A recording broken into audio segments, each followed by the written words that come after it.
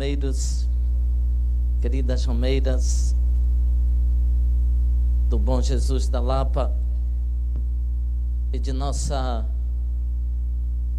estimada mãe, Nossa Senhora da Soledade, que acompanha com o seu olhar materno o percurso do seu filho, a sua consagração, a sua oferta cotidiana nos primeiros passos em Nazaré da Galileia, acompanha o seu nascimento, acompanha a simplicidade de sua vida em Nazaré,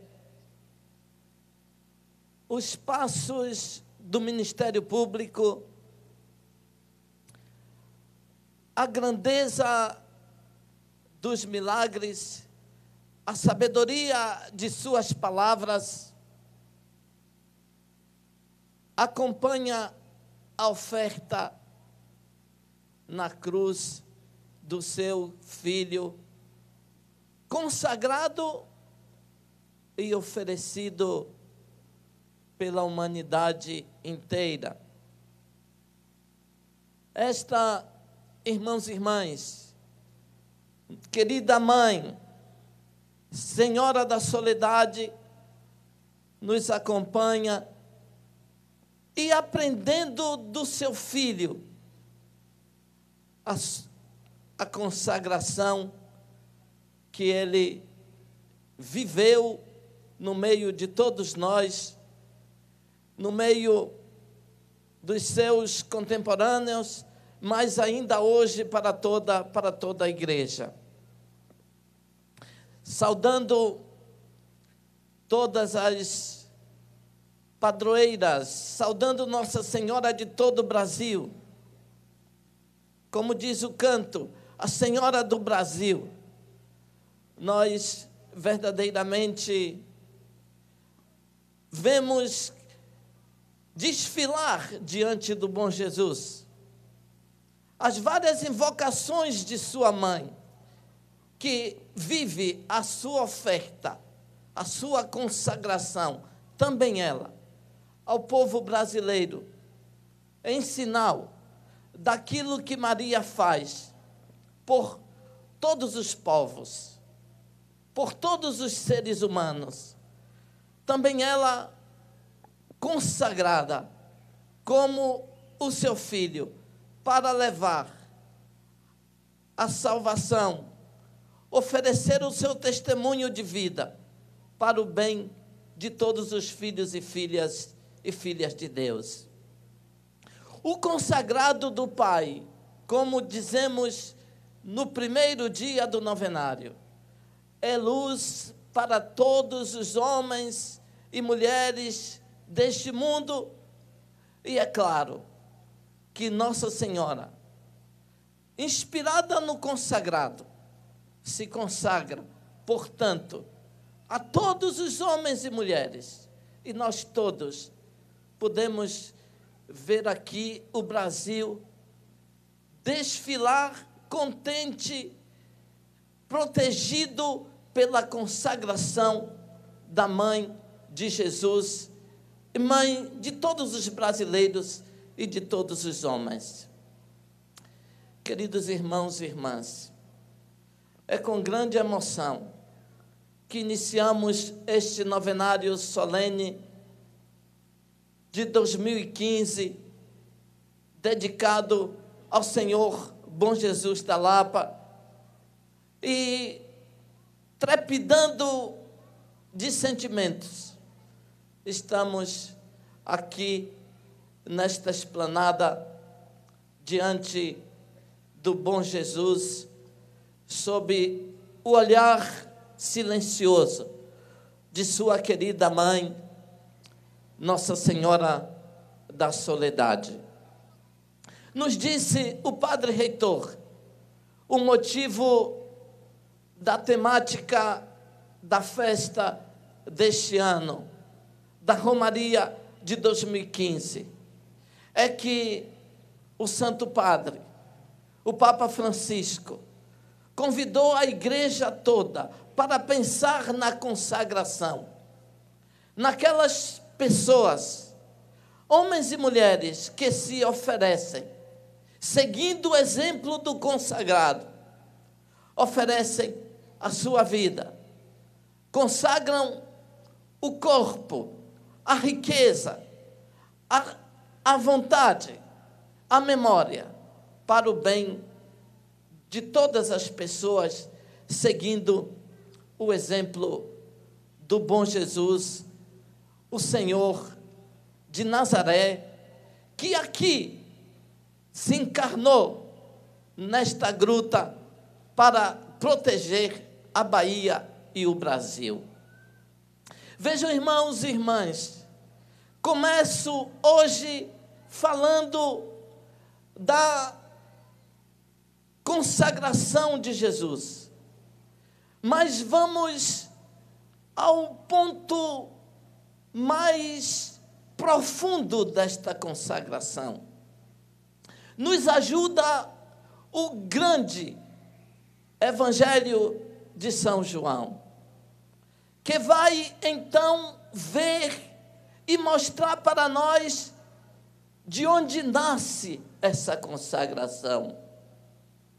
Nós, irmãos e irmãs, no, dia 6, no dia do bom Jesus, nós o contemplamos revestido de luz, o contemplamos brilhando com a luz da divindade.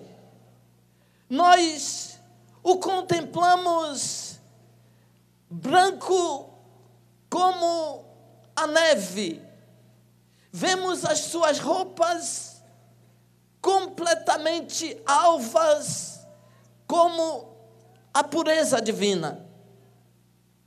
Nós, como Pedro e os outros apóstolos, vemos os, os resplendores da sua carne, da sua divindade. Mas precisávamos, na verdade, compreender de onde vem a luminosidade, a santidade, a pureza, a salvação que o bom Jesus distribui para a humanidade inteira. Como a ninguém nega favor. Como não olha as condições sociais, como não contempla os nossos pecados, como simplesmente distribui a grandeza que possui para, para todos, independente das nossas condições. E por isso, nos aproximamos todos deste santuário para receber os seus resplendores de luz. São João, irmãos e irmãs, vem nos ajudar a mergulhar ou para dizermos com os grandes comentadores, a levantarmos o voo para irmos do Monte Tabor até o princípio, onde as coisas se fundaram, onde as coisas se criaram, onde as coisas foram pensadas. E no princípio, tudo estava em Deus, tudo. Deus fez tudo, pensou em tudo e fundou as coisas todas. Mas São João diz que aquele que estava no princípio, ele agora está aqui. Ele que era a palavra, a palavra que tudo fazia, agora se fez carne e está habitando no meio de nós. E nós então podemos ver a palavra do princípio na sua carne, nos seus lábios. Podemos ver a força do princípio nos seus milagres. Podemos ver a pureza do princípio nas suas ações. A bondade do princípio no seu perdão. O amor do princípio no acolhimento de todas as pessoas. A abundância do princípio na multiplicação dos pães. A sabedoria dos, do princípio ah, nas parábolas simples que ensinavam o povo o que é a salvação, a salvação de Deus. O princípio dentro da carne, a divindade dentro da fragilidade, a beleza dentro da humanidade, a luz dentro da fragilidade da carne. Isso, isso tudo, para quê?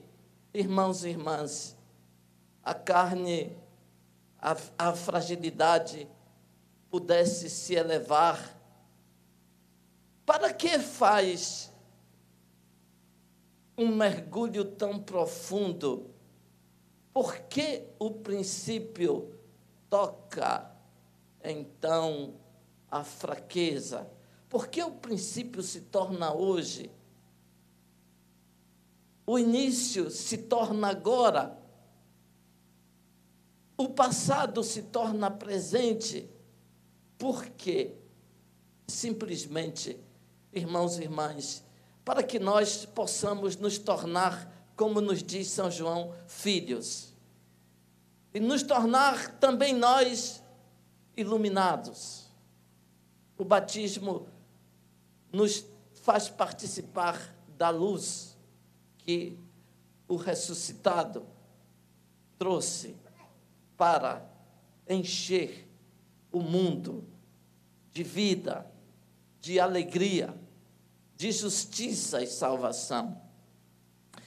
Tudo isso acontece para que também nós possamos consagrar a nossa vida, para que também nós sejamos filhos e filhas de Deus e possamos então viver uma vida nova em Cristo Jesus. O Verbo não somente se torna carne em Cristo Jesus, mas se torna carne também dentro de nós, se escutamos a Sua palavra. Por isso nós acolhemos a palavra e dizemos palavra que nos ilumina, que sustenta o nosso caminho, que aponta a direção certa para a nossa vida. É, irmãos e irmãs, é essa a luz que Jesus vem difundir no meio de nós. É essa a luz que nós precisamos para que possamos seguir sem tropeçar, seguir sem cair nos buracos da vida é essa luz. Santo Agostinho, irmãos e irmãs, diz, e com isso quero concluir essas palavras. Santo Agostinho diz que para compreendermos por que ele é a luz de todos os povos, de todos os homens, de todas as mulheres, Santo Agostinho diz que, mesmo que nós tenhamos luzes no rosto, mesmo que nossos olhos, eles são a luz do nosso corpo físico. Eles, de noite, precisam para enxergar e para ele poder caminhar, ele precisa de luz elétrica. De dia, mesmo sãos, mesmo abertos, eles precisam da luz do sol, senão eles não servem para nada. Se nós ficássemos num quarto fechado, com os olhos abertos e sãos, mas sem nenhuma luz, os nossos olhos não serviriam para nada.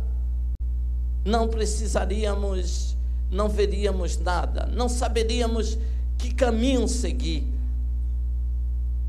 Nós precisaríamos, mesmo com essas luzes naturais, com as luzes artificiais, Somente por essas luzes nós podíamos andar de uma ponta a outra do mundo. Se pensássemos que a luz fosse o sol, nós poderíamos andar o dia inteiro debaixo dessa luz.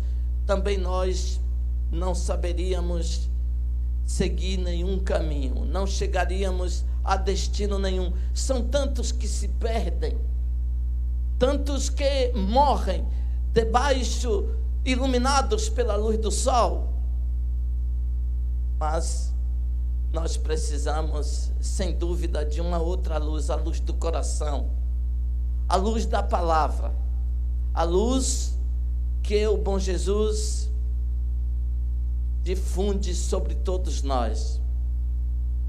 Vejam, e a luz que nos conduz à casa do Pai para sermos filhos e com Ele consagrados para a salvação do mundo inteiro.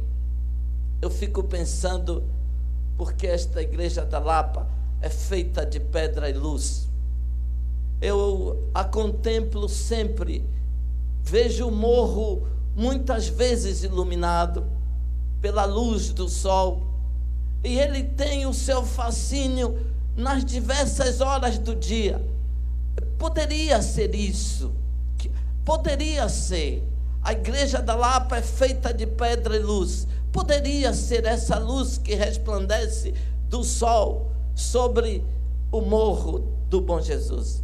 Mas eu penso que pode, sem dúvida, o que resplandece desta gruta é